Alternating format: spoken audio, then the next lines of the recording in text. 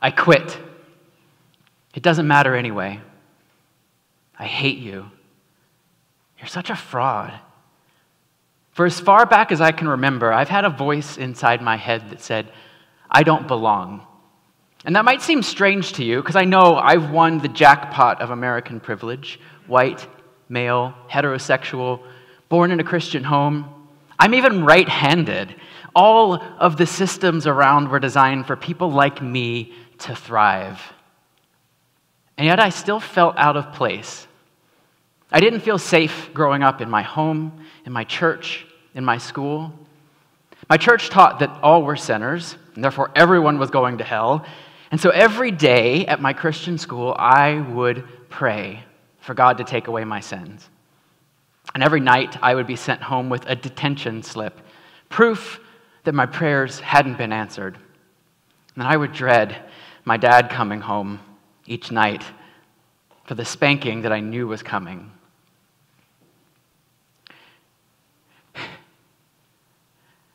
I felt at the same time my sexual interest started at a young age. And so I felt dirty and I felt ashamed. I lived in constant fear of being left out of heaven, being kicked out of school, or being isolated from my family in punishment. So I played the good kid. I started hiding to avoid shame and punishment. And I've realized that if I have felt like I didn't belong, even with this privilege, that many people have felt like that even more so. When you realized that the sign out front of the church that said, All are welcome here, didn't apply to people like you.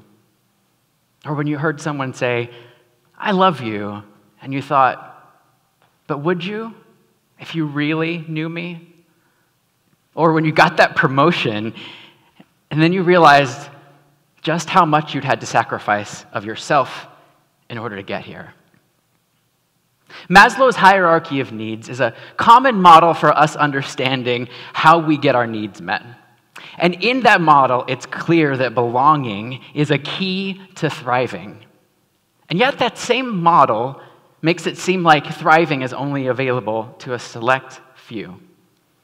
I envision a world where all are thriving because they know that they belong where we can silence the voice in the back of our heads that says we don't belong, because every place is a safe place to belong.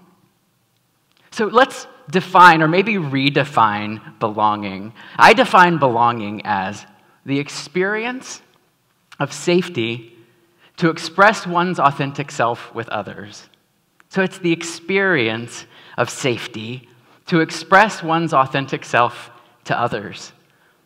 Because when we feel safe to do so, we go all in. We, ex- we fully express ourselves. We access our creativity. We take risks. We thrive. But in the places where we don't feel safe, the fear of not belonging triggers our fight or flight response. The fight for belonging looks like trying to prove that I belong by getting one more sale, one more acknowledgement, one more piece of evidence that I'm approved by others. The flight from belonging looks like procrastination, putting things off, hiding, inauthenticity, people pleasing to be accepted. We hide our true selves just to fit in. And yet, many people don't have the luxury of hiding your differences are evident everywhere you go.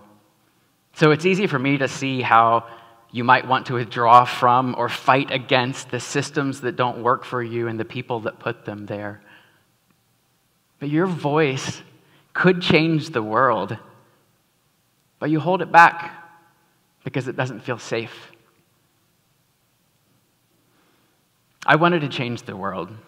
I wanted to show people the love of God rather than the judgment that I experienced. So I went to school to be a youth pastor. But as I got further into the Bible, I started to have serious doubts about my faith. So instead of going into the ministry, I went into the business world. I thought I can make some changes there. I got married, started a family, two kids. a house with an actual picket fence, joined a church, became a leader in the church, a teacher in the church, and a worship leader. If you had taken out a textbook on belonging, you could have seen my name and my picture right at the top as the example of belonging. But it didn't feel like belonging. My faith was beginning to unravel. I, I, felt like a fraud at work. I was unhappy in my marriage. I was contemplating divorce. And I was ashamed of my own infidelity and the lies to cover it up. I was hiding in every area of my life, and it was exhausting keeping it up. Being a leader allowed me to hide right in plain sight. It also allowed me to try to create a place of belonging for others that I had never experienced for myself. You might have become a leader for the same reason a parent, a teacher, a business leader, someone who could show others their own greatness so that they would never feel left out. And yet, you've never experienced that belonging for yourself. And worse, you might have resigned yourself to the idea that you never will. I finally got tired of pretending. One Sunday morning, I woke up and I stopped questioning my faith. I decided not to go back to church, and I never went back. I left my career, I went into nonprofit work, and at a fraction of my salary, I felt like a failure. Finally asked for the divorce. I was confident I would create a place of belonging somewhere else. And I ended up in a one room efficiency apartment. I texted my ex wife one night. I quit my career. I quit my faith. I quit my marriage. I don't have much else left to quit. One night at my home, I caught a glimpse of myself in the mirror. Who even was I? I couldn't even remember anymore through all the pretending. I was so angry at this person who had caused me and others so much pain through his lies. I just looked in the mirror at myself with tears streaming down my face and repeating over and over, I hate you. I hate you. I hate you. I hate you.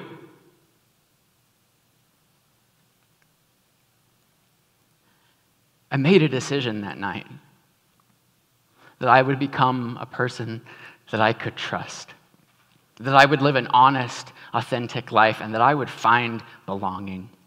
So I went into deep self discovery, and I knew that there was a leader inside of me, and that that leader had to emerge whole in order to be effective.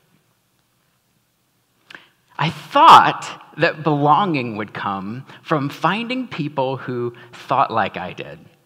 So I searched for new communities, new religious communities, new relationships, jobs, meetups, even Burning Man and kink conventions.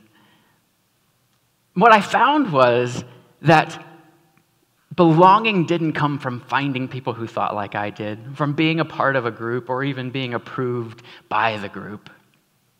But it came from having the courage to speak my voice it came from finding the courage to be my authentic self with others.